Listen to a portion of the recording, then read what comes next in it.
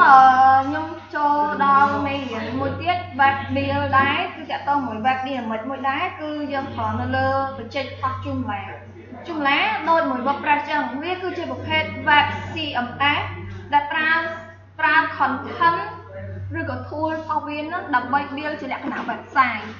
វា build ដោយ code PHP ដូចគ្នានិយាយទៅវាមាន content សម្រាប់ឲ្យយើង build ដោយ WordPress អញ្ចឹងអញ្ចឹងអ្វីដែលយើងប្រើនៅតែបន្តប្រើ WAM server ដែលត្រូវការ web server ដើម្បី run code PHP និងដើម្បីត្រូវការប្រើជាមួយនឹង database server ដើម្បីប្រើប្រាស់ជាមួយនឹង MySQL អញ្ចឹង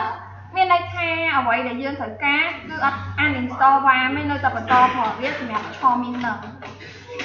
ដើម្បីចូលទៅធ្វើការ build project ជុំឡាគឺយើងត្រូវការចូលទៅ website ដើម្បីទៅ download package ផុសជុំឡាដោយ WordPress ចឹង ទៅ download វាយកមកតម្លាក់អញ្ចឹង website ដែលចូលទៅ download ផុសជុំឡាគឺយើងចូលទៅជុំឡា .org ដើម្បីទៅ download package ផុសវាដោយសារតាជុំឡាវាមានការអាប់ដេត slow ជាង WordPress របស់យើងអញ្ចឹងហើយចំពោះជុំឡា version របស់វាគឺស្ទឹមតែដល់ version 3.9ទេមិនទៅវាវាអាប់ដេតយឺតមែនតើ ពេលយើងចូលយកប៊ូតុង download យើងនឹងឃើញមាន option 2ឲ្យជ្រើសរើសទី1គឺយើង download ជុំឡាថ្មី3.9.15ណាបន្តមកទៀតគឺជា package សម្រាប់ upgrade កន្លែងនេះមានន័យថាយើងមានជុំឡាហើយតែយើងជុំឡាយើងនៅ version 2ឬក៏2កន្លះឬក៏ version 3.1អញ្ចឹងអញ្ចឹងយើងអត់ទាន់គេថាជុំឡាយើងអត់ទាន់ up to date ទេអញ្ចឹងយើងត្រូវ upgrade វាឲ្យ last version អញ្ចឹងយើង download package ហ្នឹងដើម្បីទៅពលាឲ្យ upgrade project របស់យើងឥឡូវចូលដំបូងគឺយើងអត់ទាន់មាន project អីទេអញ្ចឹងយើងចុចប៊ូតុងហ្នឹងដើម្បីទៅ download ផាសជុំឡាថ្មីចឹងយើងចុចយកប៊ូតុង download ហ្នឹងមកយើងនឹងបាន file file zip មួយដូចមួយ WordPress ចឹងចឹងទំហំវាគឺ13មេជាងអញ្ចឹងយើងយកអា file ដែលយើង download ហើយហ្នឹង យកទៅតម្លាក់ចូលនៅក្នុងទីតាំងរបស់ W3 ដង គឺទីតាំងរបស់ web project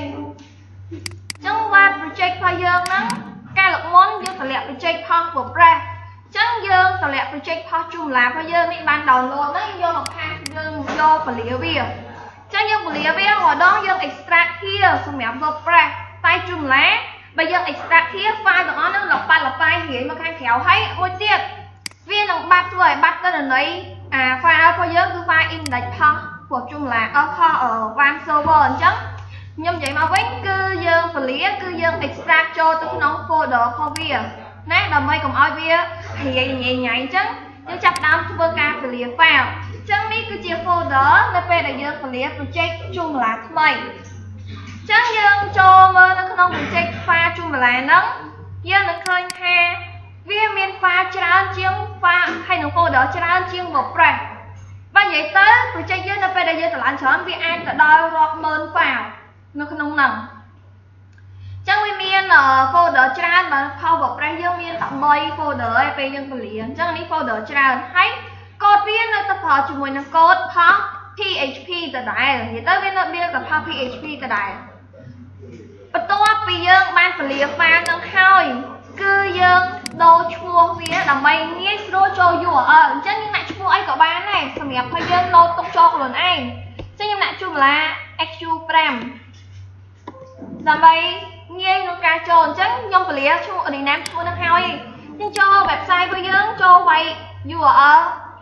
localhost ហើយចូល Joomla XU5 របស់យើងមកដើម្បីចូលទៅក្នុង project ដែលយើងពលាមិញយើង rename ការ set up ដូចគ្នាជាមួយនឹង WordPress អញ្ចឹងគ្រាន់តែខុស step គ្នាផងថា នៅពេលដែលយើងចូលដំបូងគឺវាចាប់ផ្ដើម config user ផុស Joomla ហ្មងបើ WordPress ចូលទៅដល់ config database សិនអញ្ចឹងវាការ config user របស់ Joomla យើងអាចពេញព័ត៌មានរបស់យើងមកមានដូចជា sign name ឈ្មោះ home page គេខ្ញុំដាក់ XU5 ជាមួយនឹង ហើយ note detail របស់យើងអញ្ចឹងយើងអាចដាក់ note ថែមជាលក្ខណៈនិយាយដូចពាក្យ slide អញ្ចឹងណាផង website យើងហើយ email សម្រាប់ super user អញ្ចឹងយើងបំពេញ user ទុក login អានេះគឺជា user ដើម្បី login ចូលផ្នែកនៃ back end អញ្ចឹងយើងវាយ username វាយ password វាមកចំណុចដែលខុសមួយទៀតដែលចំណុចខុសរវាង Joomla ហើយនិង WordPress គឺគ្រាន់ site offline site offline នៅនេះ WordPress អត់មានទេ Joomla មាន option វាគឺ no default ដូចមួយ WordPress តែយើងដកឲ្យវាខុសគ្នាគឺយើងយក yes កន្លែងនេះតួនាទីវាគឺមានន័យថាពេលខ្លះ website ដែលយើង build យើងទៅ hosting ហើយប៉ុន្តែយើងនឹងមានការកែប្រែ maintenance វាបន្តិចអញ្ចឹងយើងអត់ទាន់ឲ្យ user ចូលទៅមើល interface front end យើងបានទេអញ្ចឹងយើងបត់សិនរងចាំយើង complete យើងបើកឲ្យគេចូលមើលធម្មតាវិញអញ្ចឹងឥឡូវខ្ញុំប្រើ site offline ខ្ញុំយក option yes ដើម្បីឲ្យបិទការចូលមើលរបស់ user ធម្មតា ខ្ញុំ next step តទៀតគឺចូលដល់ step របស់ database database គឺ connect ទៅលើ database ដដែលគឺ MySQL និយាយទៅ MySQL វាមាន function ថ្មីគឺ MySQL i អាហ្នឹងគឺ MySQL injection គឺ MySQL ដែលវាថែម function ថ្មីសម្រាប់ version នៃប្រភេទ Joomla ថ្មីទៅឡើងទៅចុះ PDO ក៏បានដែរគ្រាន់ថាពេលដែលយើងយក PDO យើងទៅឡើង plugin ខ្លះវាអត់ ស្គាល់មួយ database ប្រភេទហ្នឹងទេចឹងយើងត្រូវការ edit វាដូរតាមក្រោយទៅយើងអាចដូរបានតែថាឥឡូវយើង set PDO ហើយដល់ពេលយើងទៅឡើង plugin មួយទៀតវាទៀមទាប្រើ i យើងអាច switch វាបានតាមក្រោយទេចឹងឥឡូវយើងយកមក SQLi សិនតាម set តាម default របស់វាសម្រាប់ version ថ្មីហ្នឹង hostname នៅនឹងគឺជាឈ្មោះឬក៏ទីតាំងដែល database យើងនៅចឹង database យើងហ្នឹងនៅក្នុងទីតាំងនៃ local មួយណាយើងអាចដាក់បានជា IP address និយាយទៅដូចគ្នាមួយ WordPress ចឹងកន្លែងហ្នឹងអាចវាយ IP address ម៉ាស៊ីនឬមួយក៏វាយជាមួយនឹងពាក្យថា local host ប៉ុន្តែយើងអាចបញ្ជាក់ថែមទៀតថាតើ database យើងប្រើប្រាស់ port លេខប្រមាណ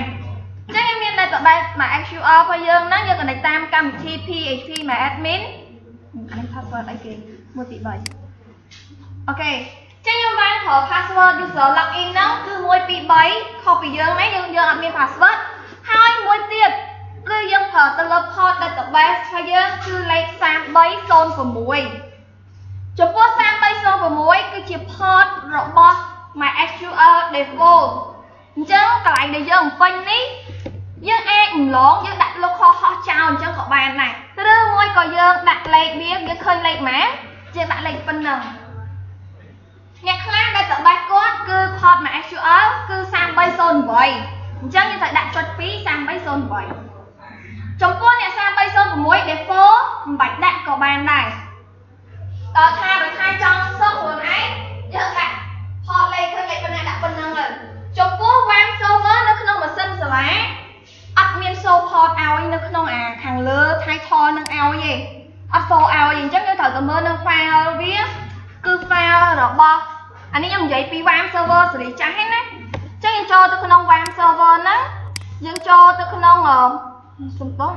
click យើងចូលក្នុង my SQL ហើយយើងរកមើល my SQL i សម្រាប់ម៉ាស៊ីនសាលាខ្ញុំនិយាយម៉ាស៊ីនសាលាគឺអត់មានលេខ port នៅក្បាលលើហ្នឹងទេអញ្ចឹងយើងមើលអត់ឃើញទេអញ្ចឹងយើងមើលលេខដឹងលេខវាលេខម៉ាយើងចូលក្នុង file my SQL អឺ INI ហ្នឹងមកហើយយើង search រកមើលលេខ port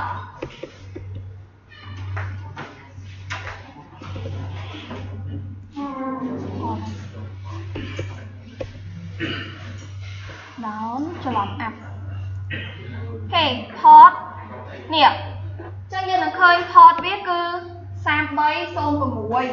អញ្ចឹងនិយាយ port ម៉ាស៊ីនសាលាយើងអត់ឃើញហ្នឹងយើងមក search មើលទៅយើងឃើញលេខទេតែដល់យើង version ថ្មីវាមាន show ឲ្យនៅលើហ្នឹងហ្មងចាអញ្ចឹងនៅក្នុងអយ port ហ្នឹងគឺដើម្បីធម្មតាតែ connection តែអត់ស្គាល់ database យើងអាចបង្កើត project បានឬក៏ connect show project យើងបានទេ connection ហ្នឹងសំខាន់មួយ ទៀត username ចឹង username នេះគឺផ្នែកនៃ database connection ដូច្នេះតើក្នុង MySQL យើងប្រើ user អីដើម្បី connect ទៅ database មិញហ្នឹងចឹងយើងដាក់ឈ្មោះវាមកមិញ user អីគេ user អីគេខ្ញុំ log ចូល database មិញចា root ឆ្លើយមក root មក password default យើងអត់មាន password ទេត្រូវទេតែបើថាយើង edit ដូចមកប្រេះរៀនតម្លៃអញ្ចឹងតែបើខ្ញុំខ្ញុំបានដាក់ password ទេអញ្ចឹងខ្ញុំដាក់1 2 3ខ្ញុំ password ខ្ញុំ lock ចូលនេះខ្ញុំ lock ចូលនោះនេះខ្ញុំ lock ចូល PHP មក admin នេះចូលតាមនឹងហើយត្រឡប់ទៅមើលក្នុង database Joomla ខេឥឡូវខ្ញុំឲ្យយើងមើលថាតើ database ខ្ញុំប្រើពាក្យ Joomla មានចំនួនប៉ុន្មាន2គឺ Joomla Practice ហើយនិង SQ 10អញ្ចឹងខ្ញុំនឹងបង្កើត Joomla SQ 5 ក់កន្លែងនេះខ្ញុំដាក់ចម្លា XU 5ឈ្មោះនឹងមាននៅក្នុងនោះអត់មាននៅក្នុងលេខរបស់យើងនោះមិញអត់អត់មានទេឲ្យមើលមិញហើយអត់មានទេចម្លាខុសពី WordPress WordPress ដាក់ឈ្មោះហ្នឹងតើទៅបង្កើតសិនអត់បង្កើតអត់ចូលឲ្យទេតែចម្លាពេលយើងដាក់ឈ្មោះហើយបើមានវាបើមានវាទៅបង្កើតថែមក្នុងហ្នឹងបង្កើត table ថែមតែបើអត់ វា create database ឲ្យយើង automatic ចឹងយើងបើកមិនគ្រាន់តែចង់បញ្ជាក់យើងថាឈ្មោះហ្នឹងអត់មានបានប្រើនៅក្នុងនេះទេខ្ញុំមានតែចម្លា XU10 និងចម្លា Practice XU5 អត់មានហើយខ្ញុំមកបានបង្កើតទៀតគេបន្តមកទៀតយើងមើលយើងស្គាល់ទាំងអស់គ្នាពេលយើងប្រើ WordPress វាមានកន្លែងពេញ tab របស់ prefix ស្គាល់ tab របស់ prefix ទេឡងនេះថនហើយ tab របស់ prefix ហ្នឹងគឺឈ្មោះក្បាលនៃ tab របស់ទាំងអស់របស់យើងហ៎ហើយអា tab របស់ prefix ហ្នឹងសំខាន់ឈ្មោះដែលតបែត្រូវយើងស្រួលត្រូវរក tab របស់ prefix អត់ត្រូវទាមទារយើង restart set up ឡើងវិញបើខុសចឹងអាហ្នឹងក៏ត្រូវ ping ទៅរក database របស់យើងដែរអញ្ចឹងវា generate ឲ្យយើងឥឡូវខ្ញុំដាក់ឈ្មោះថ្មីតាមចង់បានគឺខ្ញុំដាក់ xu underscore នេះខ្ញុំដាក់ខាតថែមខ្លួនឯង edit វាមាន option មួយទៀតគឺ option backup backup នេះមានន័យថាបើនៅក្នុង database ខ្ញុំមានឈ្មោះថា xu 5ហើយជួនឡើង xu 5ហើយហើយប្រើ prefix ហ្នឹងទៀតយើងយក option backup បានន័យថាវានឹងបង្កើត table ហ្នឹងអាបែបហ្នឹងមកឲ្យមាន XU នឹងថែមប៉ុន្តែអាចាស់វា backup ទុកវាអត់ override ទេខុសពី WordPress ណា WordPress តែជន់តែដល់ហើយ ជន់ឈ្មោះ prefix ទៀតគឺវា override អាចាស់ data យើងគឺបាត់ទាំងអស់អានេះវាមាន option តើបើជន់ត្រូវការ remove ចោលឬក៏ backup data ទុកជាដំបូង database អត់មានថ្មីទាំងអស់ option backup និង remove អត់ទាន់មាន action អីទេអត់ទាន់ឃើញទេអញ្ចឹងអឺយើងមិនទាន់អាចខ្វល់វាខ្ញុំនឹងបង្កើត project ថ្មីថែមតែខ្ញុំចូលទៅ next step previous next សិនអូខេអឺករណីពេល load warning នៅនេះ គឺមានន័យថាយើងបំពេញទិន្នន័យពេលខ្លះអាច copy អា default ដើមទៀតប៉ុន្តែវាអត់មានបញ្ហាអីទេវាគ្រាន់តែ warning ប្រាប់យើងឯងដំបូងវា warning ហើយវាប្រាប់ថាដើម្បីធ្វើការ confirm ថាអ្វីដែលយើងបំពេញនឹងត្រូវត្រូវការឲ្យយើងទៅ delete file មួយដែលមានឈ្មោះថាអញ្ចេះដែលមានទីតាំងនៅក្នុង folder installation ដើម្បីអាចទៅមុខទៀតបានអញ្ចឹងឈ្មោះវាវែងបន្តិចឈ្មោះហ្នឹងវា generate before ឲ្យដើម្បី confirm warning ថាទិន្នន័យដែលយើងបំពេញភាគច្រើនវាកើតឡើងនៅពេលដែលយើងបញ្ជាក់ port នៅកតុយបើយើងដាក់ទៅលោកហោះហោះចោលអត់មាន load អានោះឲ្យទេចឹងដើម្បីបញ្ជាក់ថាអូ database ហ្នឹងយើងប្រើ port ហ្នឹងមែនចឹងដើម្បីឲ្យអាហ្នឹងអាចទៅមុខទៀតបាន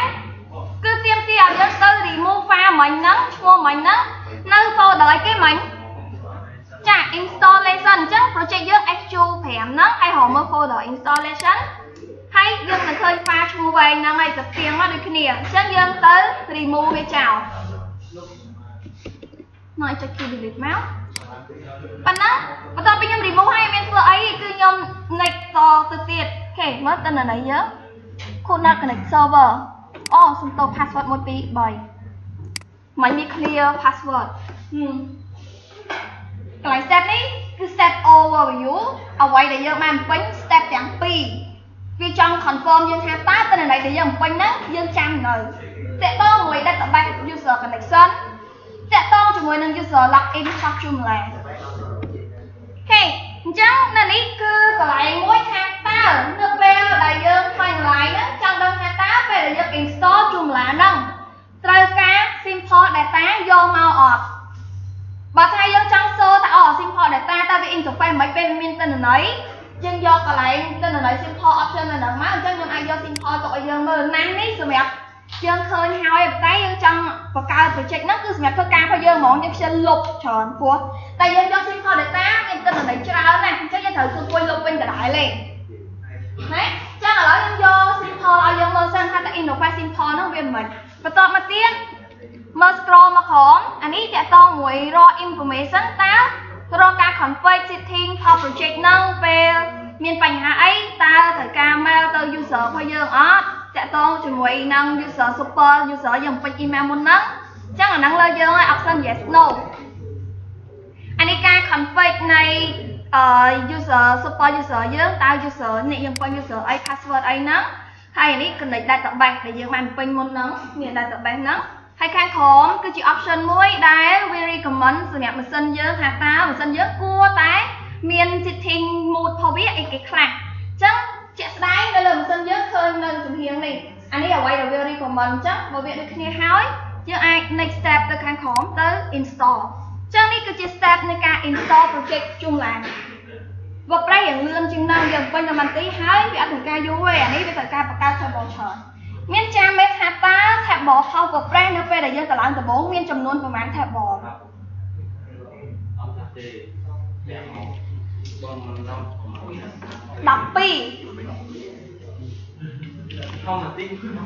មាន12 table Power Press តែឥឡូវយើងបានបំពេញតន័យហើយ complete ហើយវាទៀមទាមួយដើម្បីអាចចូលទៅក្នុង project ដែលយើង install ហើយ តម្រូវឲ្យយើង remove file of folder ឈ្មោះថា installation បើយើងតែបើយើង remove មុន install ខុសវិញពេល install ហើយទៅ remove ព្រោះអានេះគឺជា folder មួយដើម្បីធ្វើការ config ចាប់យក file ឲ្យយើង set up ពេលយើង set up ចប់យើង clear វាចោលចឹងវាទាមទារយើង remove អាចចុចប៊ូតុងនឹង remove ក៏បានឬមួយក៏ទៅលុបដូចមិញយើងចូលមកលុបនៅក្នុងហ្នឹងក៏បានដែរនេះ folder installation ណា ចឹងយើងអាចចូលទៅ delete នៅលើហ្នឹងឬមួយក៏ចុចប៊ូតុងមួយ មានពាក្យថា remove គេចុចលើឡើងមកគេវា remove complete ដែរចឹងទីតាំងរបស់យើងកន្លែងនេះ installation ក៏បាត់នៅនឹងដែរបន្ទាប់ពីយើង install ចប់យើងអាចចូលមើល front end របស់យើងបានដោយ front end របស់វាវាប្រើពាក្យថា site ហើយ back end វាគឺប្រើពាក្យថា administrator គេអញ្ចឹង អាចចូលមើលទៅក្នុង front end យើងបានយើងវាយលុកខុសៗឈ្មោះ project យើងហ្នឹងឈ្មោះអីដូច WordPress របស់យើងអញ្ចឹងចឹងយើងចូល Joomla XQ ដល់ XQ5 របស់យើងមកហ្នឹងហើយអញ្ចឹងយើង install ហើយយើងអាចចូលមើល front end វាបានប៉ុន្តែ front end ចូលមកទាមទារការ login ហេតុអីបើ login សាយយើងប្រើសាយ offline ចឹងអ្នកសាយ offline មិនយ៉ាង user ធម្មតាអត់អាចចូលទៅបានទេ បើចង់មើលបានតើតែ user នៅក្នុង project ហ្នឹងអញ្ចឹងយើងវាយ user ដែលយើងបានពេញមុនហ្នឹងតើយើង set up ចូលនឹងជាអីចឹងកន្លែង login នេះមិនមែន login ចូល back end ទេមិនចូល administrator side ចូល front end ដដែលទេគាត់ថាយើងបានបិទព្រោះធម្មតានៅពេលដែលយើងបិទឲ្យអត់ឲ្យគេមើលយើង edit អីយើងក៏ត្រូវមើលខ្លួនឯងដែរត្រូវទេអញ្ចឹងយើង login អាហ្នឹងយើងសម្រាប់ខ្លួនយើង login យើងមើលឃើញហើយ ព្រោះយើង edit ហើយយើងអត់ទៅមើល front end មកយើងមិនដឹងថាយើង edit ចេញអីចាចឹងនេះគឺជា interface ដែលវាមាន simple data របស់អីជួនឡារបស់យើងចឹងផ្នែកនេះ front end ចង់ចូល back end គឺយើងវាយ URL ថែមស្តៀងមួយ WordPress របស់យើង WordPress យើងវាយគេដើម្បីចូល back end wp.admin នៅក្នុងជួមឡាគឺយើងវាយពាក្យថា administrator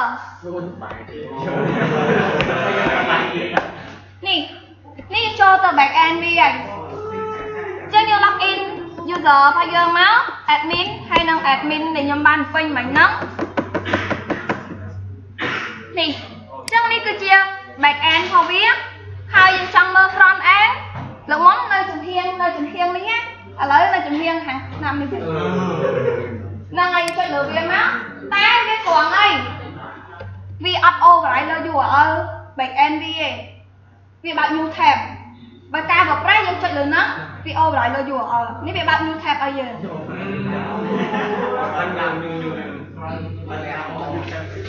ចឹងនេះ back អានេះ front ហើយអ្វីដែលយើងចូលមើលនៅក្នុង database មិញខ្ញុំចូលគ្រាន់តែបង្ហាញចូលយើងថាតើយើងមាន table អីគេខ្លះអញ្ចឹងខ្ញុំអត់មានទេអញ្ចឹងខ្ញុំចូលមើលម្ដងទៀតយើងនឹងឃើញថា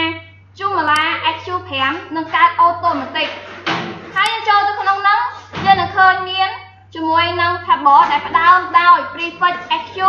ហើយមានសរុប78 table ចឹងអានេះប្រយ័ត្នតិចព្រោះស្រោ3ដងឬក៏ផុសយើងខ្ញុំមិនដឹងថា in នេះ free ផុសយើងហ្នឹងតើវាកំណត់ limit នៃ table អត់ទេតែ table គ្រាន់តែ blank data 78ហើយនៅថែម plug in ទៀតគាត់ណាខាងនេះគ្រាន់តែ alert warning ទេអញ្ចឹងអើយ plug in ខ្លះដែលមិនត្រូវការប្រើកុំ install ផ្ដេសដាក់ចូលទៅឲ្យធ្ងន់ table អត់ប្រយោជន៍ហ្នឹងហើយអញ្ចឹងថ្ងៃហ្នឹងខ្ញុំបង្ហាញពីការ set up អញ្ចឹង ការងារបន្តគឺយើងត្រូវ install ឲ្យបាន front end និង back end ឲ្យខ្ញុំមើលវិញ